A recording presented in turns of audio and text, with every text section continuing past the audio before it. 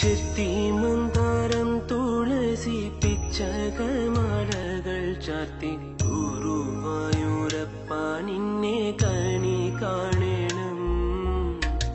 സോമയുടെ അമ്മയുടെ ദേഹത്ത് നീ കൈവച്ചു. ഗേറ്റെ പൂട്ടിയിട്ട് എന്നെ ഇടിച്ചു. ഇതിനെ നിന്നോട് ക്ഷമിക്കാൻ സോമയുടെ ശവത്തിനെ കഴിയൂ. കുട്ടിക്കാടാ നിന്റെ കേസ് സോമ അവധിക്ക് വെച്ചിരിക്കുന്നു. എന്റെ പെങ്ങളുടെ കല്യാണം ഒന്ന് കൂടണം. കാലണ്ണൻ പലവട്ടം ഭരത് നേടി. ഭരതത്തിൽ സംഗീതം നൊന്തു പാടി. പത്മശ്രീ മമ്മൂട്ടി എന്നു കേട്ടാൽ ഓസ്കാറും പുഷ്കാറും ഞെട്ടിപ്പോകും. കാരണനെ അപവാദം.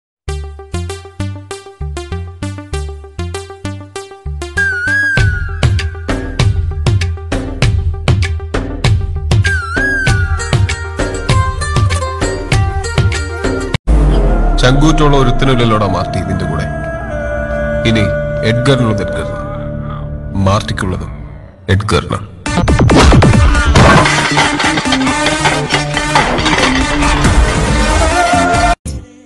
ഒരു മാല ഇളവയിൽ നേരം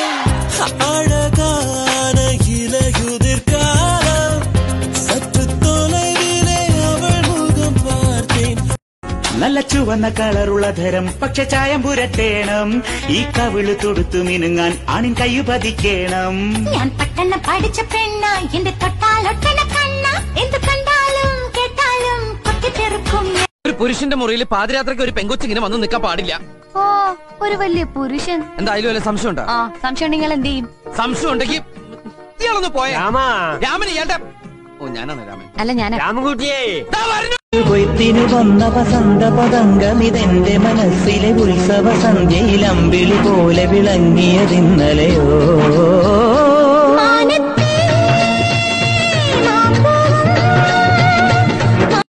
ആവണി പൊന്നു ഞാലാടിക്കാം നിന്നെ ഞാൻ. ആയില്യം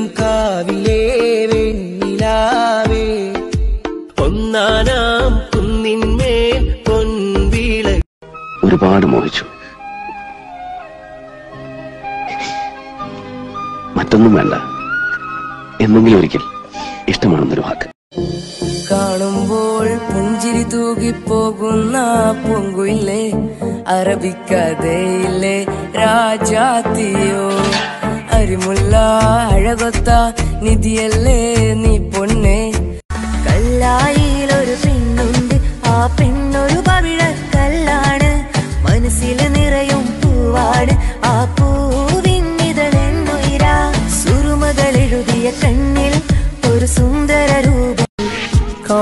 ചെറുപ്പം കോട്ടേരെ തിരിശത്താൽ ചെക്കനും പെണ്ണായി കളിച്ചില്ലേ നമ്മൾ?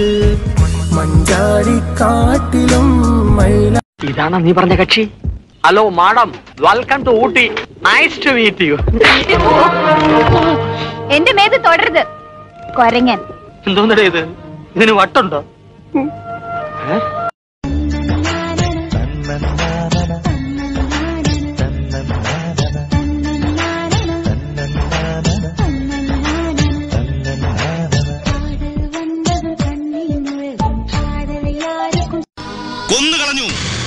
കൊല്ലാൻ ഉന്നം വെച്ചത് ഭരചന്ദ്രനെ ചെന്ന് കൊണ്ടത് പാവം ഇന്ദുവിന്.